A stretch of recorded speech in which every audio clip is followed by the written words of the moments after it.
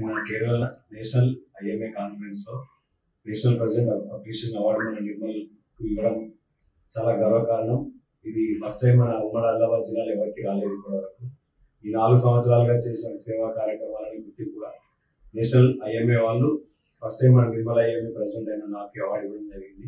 నన్ను సన్మానించడానికి వచ్చిన నిర్మల్ సేవ నిర్మల్ హృదయ సేవా సమితి సభ్యులందరికీ ప్రత్యేక ధన్యవాదాలు తెలుపుకుంటున్నాను. థ్యాంక్ యూ ఇరవై ఆరు ఇరవై ఏడు ఇరవై ఎనిమిది తేదీల్లో జరిగినటువంటి ఐఎంఏ ఇండియన్ మెడికల్ అసోసియేషన్ ఆధ్వర్యంలో ఆల్ ఇండియా స్థాయిలో జరిగినటువంటి సమావేశంలో మరి మన నిర్మల్ ఉన్నటువంటి గౌరవనీయులు పద్మిని నర్సింగ్ యాజమాని మరి రామకృష్ణ గారిని డాక్టర్ రామకృష్ణ గారిని మరి అక్కడ జాతీయ స్థాయిలో ఉత్తమ వ- వైద్యునిగా గుర్తించి మరి సన్మానించినందుకు మా నిర్మల్కు ఎంతో గర్వంగా ఉందని భావిస్తూ మా నిర్మల ఉదయ సేవా సమితి పక్షాన మేము వారికి చిరు సన్మానంతో మరి సన్మానించడం జరిగింది.